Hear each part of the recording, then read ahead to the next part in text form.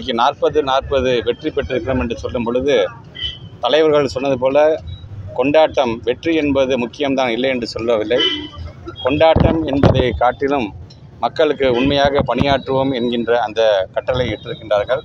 அது அந்த வகையில் இன்றைக்கு தொடர்ந்து நேற்று தான் வந்தோம்.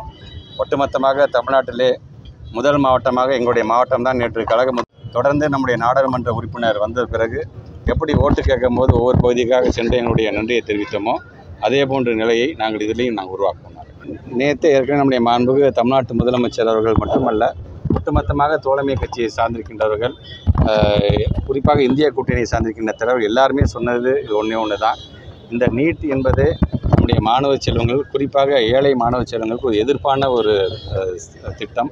ஆக அதை முழுமையாக ஒழித்திட வேண்டும் என்று சொல்லியிருக்கு. அதற்காக தொடர்ந்து நம்முடைய இளைஞரணி செயலாளர் மாண்புக்கு அமைச்சர் உதயநிதி ஸ்டாலின் அவர்கள் தொடர்ந்து அதை ஒழித்து காட்ட வேண்டும் என்கின்ற தன்னுடைய உறுதிப்பாட்டை ஒவ்வொரு நிலையிலும் அதை அவர் செய்து கொண்டிருக்கின்றார்.